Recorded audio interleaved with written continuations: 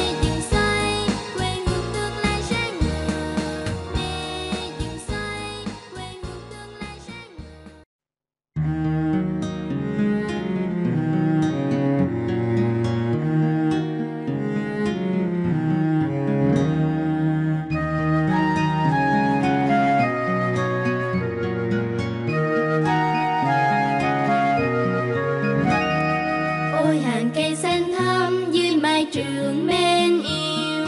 Có loài chim đang hót âm thầm tự như nói, vì hạnh phúc tuổi thơ, và cho đời thêm sức sống. Thầy dì dắt chúng em với tâm lòng thiết tha khi tình mình